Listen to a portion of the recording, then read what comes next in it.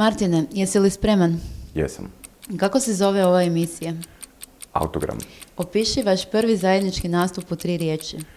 E, smiješno, e, ovaj, awkward i simpatično. Opiši vašu glazbu u tri riječi. E, pop, rock, e, alt. Kako kratite vrijeme tijekom zajedničkih putovanja? Mm, pjevanjem, Koja je vaša pjesma najduže nastajala? mm, recimo, siromah. Omiljena glazba za tulume. Um, pa, Denis i Denis. S koliko godina si znao da želiš biti glazbenik? Mm, sa 15. Posljednja pjesma koju nisi mogao izbaciti iz glave. Mm, e, travu i guzicu ovaj, frka od Nipple People. Omiljeni pjevač, pjevačica ili grupa iz djetinstva?